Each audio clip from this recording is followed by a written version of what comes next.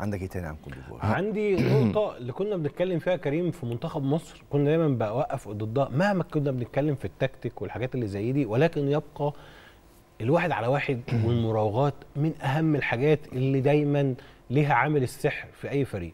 منتخب مصر في كأس الأمم الأفريقية كانت أرقام الواحد على واحد فيه متدنية. المراوغات الناجحة كانت في منتخب مصر ضعيفة جدا. تعال أوريك قد إيه تأثير كان شاب بيتكلم على إضافة أدينجرا. تعال نشوف تأثير إدنجرا على فريق كوت ديفوار كان عامل إزاي في ال final.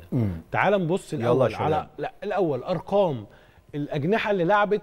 ده كوامي آه لاعب آه، فيورنتينا في آه لقاء نيجيريا.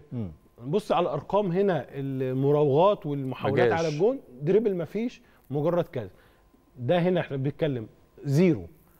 وهات الصورة اللي بعديها الجناح الثاني بوجا لاعب نيس برضو مفيش مراوغات تعال بقى نشوف دينجرا عمل إيه في ال final عمل رقم من أعلى الأرقام طول البطولة هات بقى دينجرا في ال final لعيب برايتون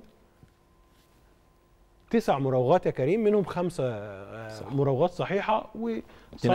آه صنع هدف وشاط على الجون والحاجات اللي زي كده.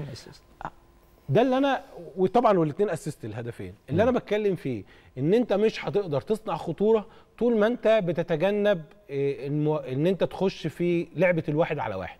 يعني طول ما أنت لعبتك بتبقى بعيدة قوي التفوق مش هيظهر بشكل كبير. آه طبعا في الجمل بتتعمل كل الكلام ده ولكن في النهاية أي حاجة في الكورة لازم تتم لازم يبقى في لك عندك تفوق في الواحد على واحد. فده ممتاز. كان تأثير إدنجرا وده اللي أنا بتمنى إن في الفترة الجاية آه، منتخب مصر والحاجات اللي زي يسعى إن لعيبته تبقى عندها التفوق ده. إحنا شفنا كان اللي كان موجود وظاهر في منتخب مصر في الحتة دي كان عمر مرموش. كان اللي هو عنده الاجريسيفيتي كده إنه ياخد الكورة ويحاول.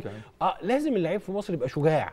اللعيب لو وخصوصا لعيبة التلت الأخير أنت لو ما عندكش حلول في التلت الأخير واللعيب بتاعك يقدر ياخد الكورة ويروح هو للخصم ويعدي في الواحد على واحد أنت مش مش في النهايه في النهاية هيبقى الموضوع أشبه بيه. أنا لعيب ممسوك وبدل كريم لعيب ممسوك وكريم يدي لشاب وهو ممسوك ومش هنخلق التفوق. هو لازم واحد فينا يكسر الحلقة دي فيبقى في بقى اتنين على واحد وثلاثه على اتنين والموقف الهجومي يحصل في الحاجات دي زي اللي زي دي. عظيم.